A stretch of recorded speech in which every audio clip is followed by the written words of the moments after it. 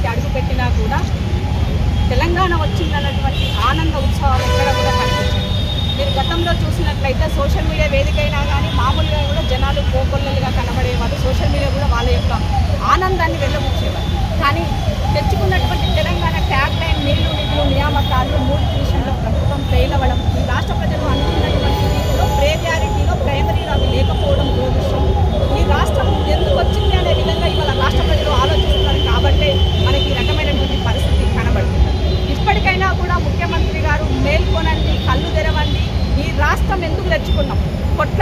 ఉన్నటువంటి తెలంగాణకి అర్థం పరమార్థం ఇవ్వాలని చెప్పేసి విజ్ఞప్తి చేస్తున్నాం.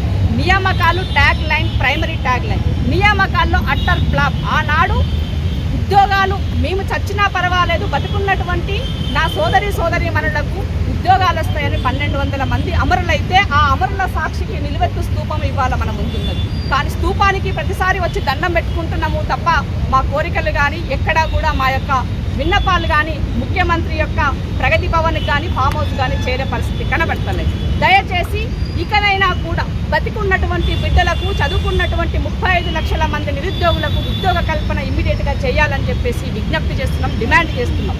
మా సోదరిమని మా నాయకురాలు షర్మిల గారు కూడా తను ఆల్రెడీ డెబ్బై రెండు గంటల దీక్ష చేశారు.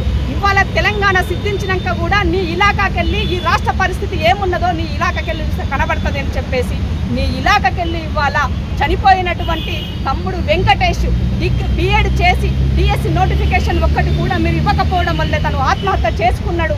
ఇది నీ ఇలాకాలో జరిగినటువంటిది. చూడు ముఖ్యమంత్రి ఏమున్నదో ఈ రాష్ట్ర పరిస్థితి అని ఇవాళ అక్కడికి వెళ్ళి తనని కలిసి పరామర్శించి మాకు తోచిన కొంత ఆర్థిక సహాయాన్ని చేయడం జరిగింది.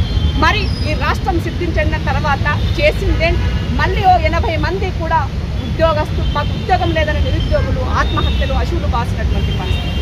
ఇవాళ రైతన్నలు పండినటువంటి పంటను ఎక్కడా కూడా కొనుగోలు చేసే పరిస్థితి లేదు. కొనుగోలు చేసినా వాటికి డబ్బులు వచ్చే పరిస్థితి లేదు. ఇవాళ ఆ- అదే ఇలాకాలో మెదక్ ఇలాకాలో ఇవాళ ఆ రైతులను కూడా కలవడం జరిగింది.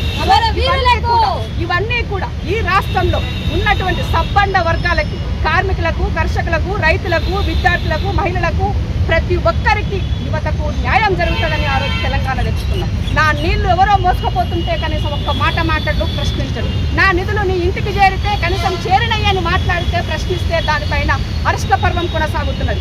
ఆత్మగౌరవం కోసం తెలంగాణ వచ్చింది ఆకాంక్ష కోసం తెలంగాణ వచ్చింది స్వేచ్ఛగా తిరగడం కోసం తెలంగాణ వచ్చింది. కానీ ఆ పదాలు అన్నీ కూడా ఇవాళ తెలంగాణ రాష్ట్రకి అవి ఒక భూత పదాల్లాగా వినబడుతున్నాయి ముఖ్యమంత్రికి తప్ప అవి ఎక్కడా కూడా అవి నెరవేర్చేటువంటి ఆలోచనలో ముఖ్యమంత్రికి లేకపోవడం దౌర్భాగ్యం కాబట్టే ఈ రాష్ట్రంలో మన యొక్క హక్కులను సాధించుకోవడం కోసం మరొక తెలంగాణ ఉద్యమం మరొక హక్కుల సాధనకై ఉద్యమం కోసం వాళ్ళ షర్మిలక్క గారు తన రూపకంగా ఒక ఉద్యమాన్ని మొదలు పెట్టబోతున్నారు.